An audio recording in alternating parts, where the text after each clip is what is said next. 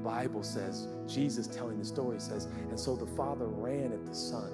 Now, what you don't know and I don't know is that in those days, any distinguished man of any kind never ran. By the way, I love that tradition. I'm not a big runner.